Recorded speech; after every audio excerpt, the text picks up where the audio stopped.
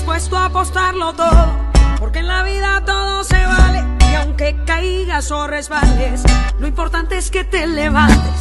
Nadie te dijo que sería fácil, porque lo fácil, fácil se va.